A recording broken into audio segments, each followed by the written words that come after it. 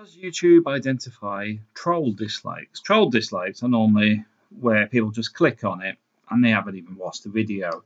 I found on previous ones, I've seen people that have only actually been on the video for three seconds and automatically disliked it, which is a bit interesting when the intro is five seconds long, which meant they never watched it in any context because they never actually got to the video. They've just simply pressed dislike, and by the time they've done that and sort of moved on, that's your three seconds.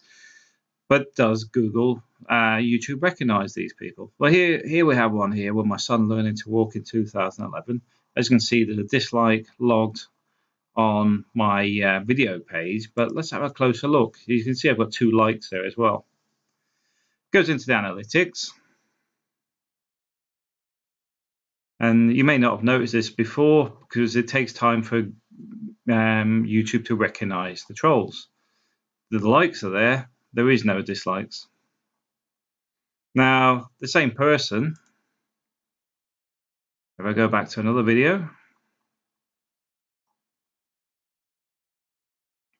let's have a look, let's slide down. Oh, look, we've got another dislike. 16 likes and one dislike. Notice a pattern emerging? Do you think that one dislike is going to be there? I don't think so.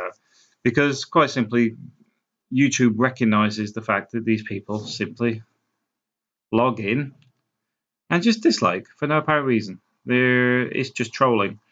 And as such, it didn't recognize it. It didn't recognize two likes either, which may probably be people that are liking every single video in the other other way.